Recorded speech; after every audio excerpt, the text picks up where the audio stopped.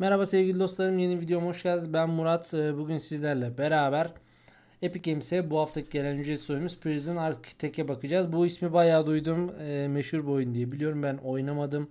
Oyun e, kütüphane maşırda zengin değil sizin de bildiği gibi. Şu tarz oyunlar beni genellikle sarmıyor ama tabii oyunun içine girdiğiniz zaman e, fenasal bir şekilde sarabilir. Onu bir bakacağız göreceğiz. Özellikler kısmında benim anladığım kadarıyla tek kişilik bir oyun. Gördüğüm kadarıyla 50 TL bir fiyat bandı varmış Epic'te. Strateji oyunu gördüğünüz gibi arkadaşlar. Hoş geldiniz hapishane müdürleri. Dünyanın en amansız mahkumlarıyla ancak dünyanın en amansız hapishane müdürü başa çıkabilir. Prizoner kısmette cezaevi tasarı ve bu cezaevin kişiselleşip geliştir demiş. Bir strateji simülasyon tarzı bir oyun. Simülasyon değil pardon strateji tarzı bir oyun gördüğünüz gibi. Şuradan bakalım bundan acaba bir e, DLC'si var mı ücretsiz bir şekilde ona bir bakalım.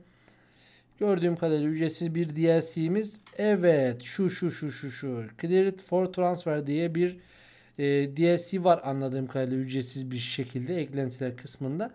Bunu arkadaşlar eklemeyi unutmayın. Oyun aldıktan sonra bunu da içerini almayı unutmayın. Belki güzel bir DLC'dir diyorum. Ve şöyle sizlerle beraber özellikler kısmına geldiğim zaman e, desteklenen diller kısmında ise Türkçemiz mevcut gördüğünüz gibi. E, Türkçe bir oyun e, meşhur bir oyun bildiğim kadarıyla oynanır diyorum net diyorum ve hesabıma hızlı bir şekilde ekliyorum. Siz de eklemeyi unutmayın. Gün gelir oynarsınız.